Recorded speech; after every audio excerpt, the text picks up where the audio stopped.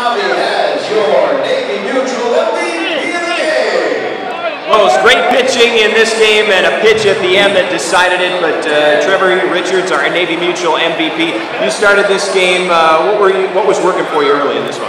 Uh, just mixing it up, keeping the hitters off balance. Uh, Cam called a great game, so whatever you do down, we're home.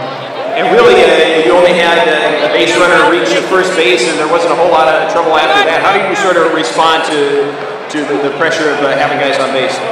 Uh, just go about attacking the hitter, really. And, uh, guys on base, it doesn't change much.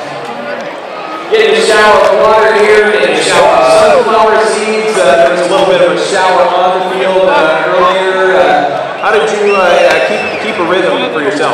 Uh, just inning after inning, kind of staying in the game, realizing when I have to go there, um, and then just going out on one and then taking care of business. Uh, tonight, the strikeouts uh, adding up for you. Uh, what pitch was working most effectively there?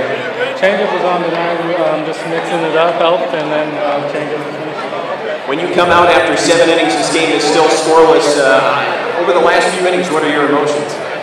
Um, just, just cheering on the team. Hopefully, we come out with a win. Fortunate enough to get one.